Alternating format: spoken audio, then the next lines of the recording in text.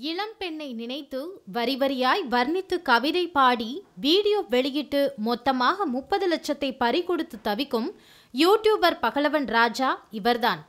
திண்டுக்கல் மாவட்டம் கொடைக்கானலைச் சேர்ந்த யூடியூபர் பகலவன் ராஜா தனது கவிதை வீடியோவில் நடிப்பதற்காக ஆட்கள் தேடியபோது துணை நடிகர் ஏஜட் கணேஷ் மூலம் திண்டுக்கல்லை அடுத்துள்ள தாடிக்கொம்புவை சேர்ந்த திவ்யபாரதி அறிமுகமாகியுள்ளார் தன்னை இளம் மாடல் என்று கூறிக்கொண்ட திவ்யபாரதி சினிமாவில் துணை நடிகையாகவும் உள்ளூர் தொலைக்காட்சியில் விளம்பரம் மற்றும் தொகுப்பாளராக நடித்து வருவதாகவும் கூறியுள்ளார்.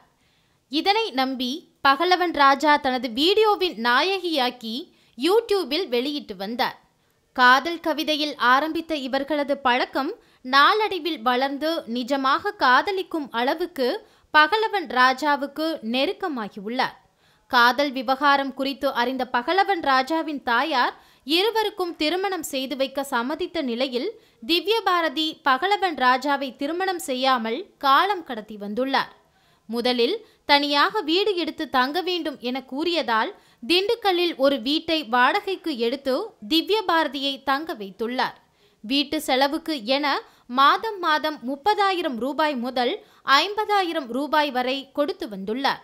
மேலும் தனக்கு உடல்நிலை சரியில்லை என கூறி மருத்துவ செலவிற்காக பணம் வேண்டும் என திவ்ய பாரதி ஒன்பது லட்சம் ரூபாய் வரை கேட்டு வாங்கியுள்ளார்.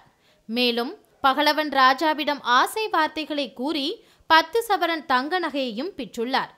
பகலவன் ராஜா நாம் திருமணம் செய்து கொள்ளலாம் என பேச்சை எடுக்கும் போதெல்லாம் அவரிடம் சண்டையிட்டு காலம் தாழ்த்தி வந்துள்ளார்.